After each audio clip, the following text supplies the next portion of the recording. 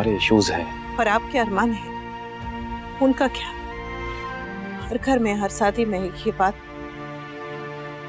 एक बार तो होती है एक को धूमधाम वाली शादी चाहिए होती है तो दूसरे को सादगी वाली। बात पैसों की है, और उससे भी ज़्यादा बात सपनों की है।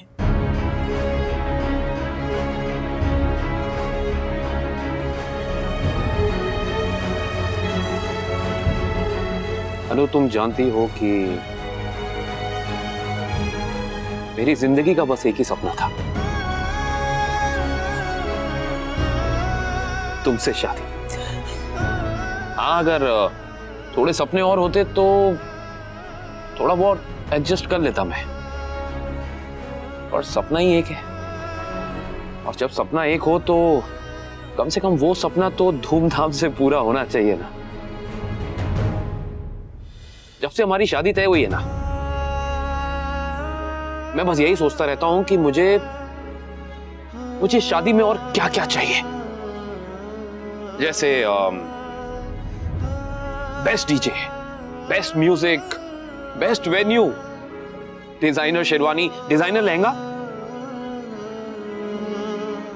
music lighting mehndi, baraat सब चाहिए। मुझे लगा था कि मुझे ये सब चाहिए होगा। लेकिन 26 साल से जब मैं अपनी आँखें बंद करता हूँ और सपने देखता हूँ ना तो मनु मेरे सपने में कोई डीजे नहीं आता, कोई वेन्यू नहीं आता, डिज़ाइनर कपड़े नहीं आते।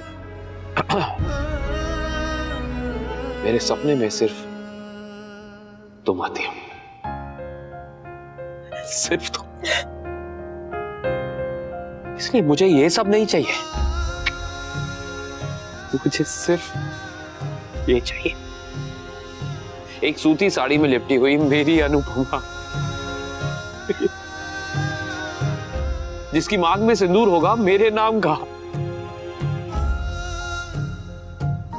इससे ज़्यादा शानदार लैविश ग्रैंड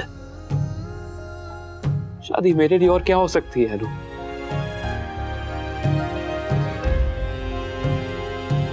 फिर से। फिर से बन गए ने महान।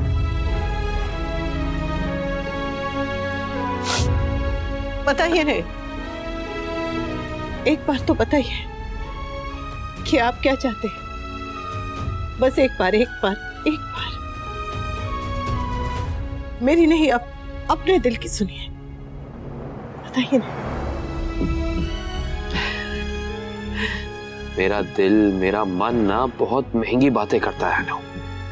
अगर मैंने अपने दिल की, अपने मन की बात सुन ली ना तो मैं पूरी ज़िंदगी शादी के लिए जो लोन लूँगा ना, वो चुकाता रहूँगा।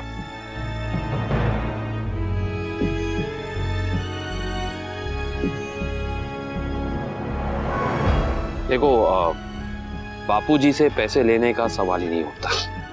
क्योंकि उनकी सबसे कीमती, बेशकीमती दौलत मैं लेके जा रहा हूँ। अब इस दौलत के आगे मैं उनसे और कौन सी दौलत मांग सकता? हूँ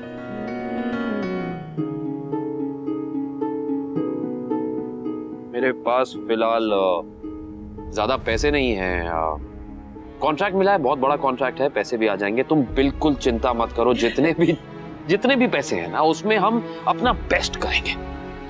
हम बेस्ट टीम हायर करेंगे best choreographer best DJ best मतलब सेटिंग से सब हो जाएगा। पर ये सब तो वो Samar choreographer Devika dress designer Bapuji event planner Kinjal DJ Mukku wedding planner GK photographer मामा जी केटरर मामा जी अगर केटरर होंगे ना तो शादी में किसी को खाना नहीं मिलेगा। अरे तुम चिंता मत करो अनु क्योंकि ये शादी उन्हें रिमेम्बर छे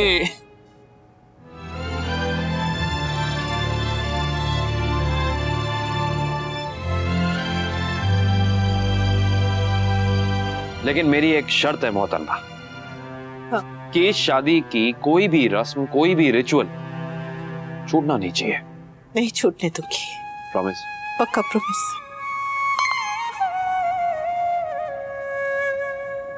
ओ बाप रे। देविका ने मुझे मान की शादी वाले ग्रुप में ऐड कर दिया है। कॉन्ग्रेचुलेशन थैंक यू अब सारे मैसेजेस सारी प्लानिंग इसी ग्रुप पर होगी। अच्छा है अनु। हाँ? हम शादी का प्लान एक साथ बता देते हैं। ओह, हमने फैसला किया है कि शादी मिडिल क्लास धूमधाम से होगी। मतलब थोड़ा है और थोड़े की ज़रूरत वाली टिपिकल इंडियन शादी। रात भर बैठ कर मटर छीनने वाली शादी। ढोलक हारमोनियम अंताक्षरी वाली शादी। हलवाई से मोल भाव करने वाली शादी। पुराने सूट को निकाल के ड्राई क्लीन करके पहनने वाली शादी। पुरानी साड़ी को नया बॉर्डर लगाकर उसे नया बनाकर पहनने वाली शादी। रिक्शे में बारात आने वाली शादी। रिक्शे में दुल्हन विदा होने वाली शादी। मतलब कम खर्चे और ज़्यादा प्यार वाली शादी।